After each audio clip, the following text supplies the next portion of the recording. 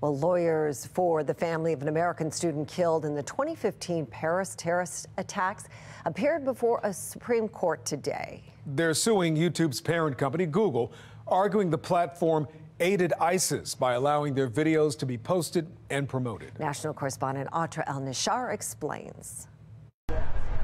In a landmark case before the Supreme Court, Gonzalez versus Google, two laws may be at odds with each other. One of them, Section 230 of the Communications Decency Act, is designed to allow online platforms to prosper free of liability. The other, the Anti Terrorism Act, meant to deter and punish acts of terrorism. Can you run an internet operation if you're responsible for everything that comes over the wire? You've got a fundamental issue here about uh, communications about the freedom of communications and whether you're actually aiding foreign terrorists when you allow for the dissemination of the information. The family of Nohemi Gonzalez, killed in the 2015 Paris attacks, has lost in lower courts. They want accountability from YouTube for ISIS videos on the site. Tech companies say changing Section 230 would mean they either moderate all content or none of it, comparing that outcome to a digital Wild West.